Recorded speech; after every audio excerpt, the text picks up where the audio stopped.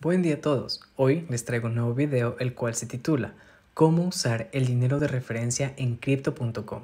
Y para hacer eso posible tenemos que obviamente el día de hoy utilizar la aplicación de crypto.com, la cual se encuentra aquí.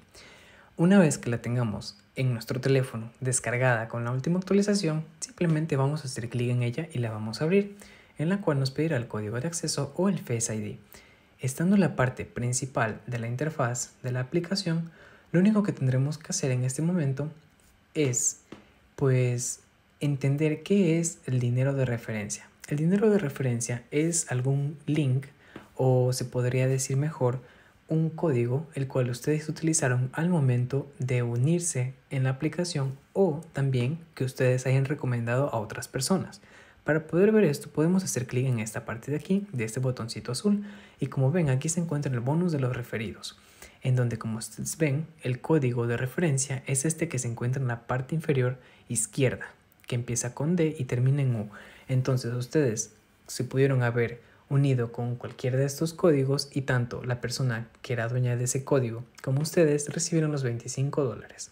Ustedes también lo pueden hacer compartiendo con diferentes amigos en alguna de las aplicaciones que ustedes utilicen. Ahora bien, para poder ustedes em, usar ese dinero de referencia, lo que tendrán que hacer es dirigirse hacia la parte de tarjeta, en esta parte inferior, y luego de ello pueden actualizar y elegir la parte de Ruby Steel.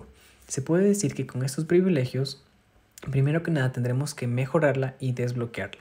Para hacer eso, tendremos que comprar CRO y retener durante 180 días, pero tranquilos, que eso si ustedes se ponen a pensar es de mucha ayuda ya que eso les estará generando ingresos pasivos. Le damos a continuar si desean y aquí les sale lo especificado.